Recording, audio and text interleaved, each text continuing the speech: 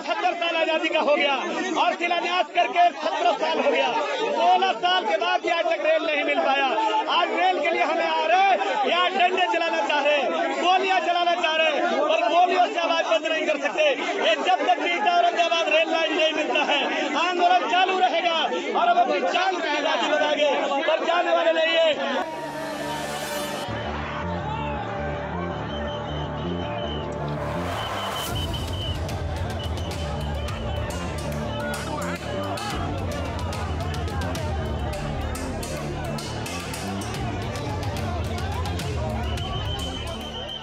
सरकार ये डंडे की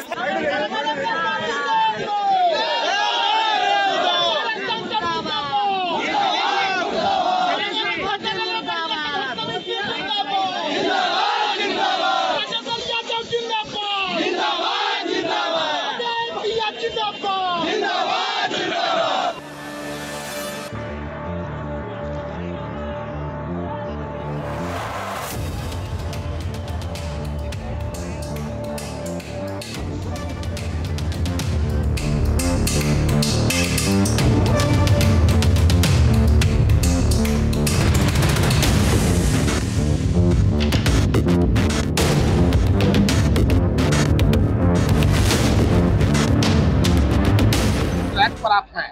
हाँ आज ट्रैक में उसी मांग को लेकर हम धाता पटरी पर बैठे हुए थे शांतिपूर्वक से कर रहे थे आंदोलन।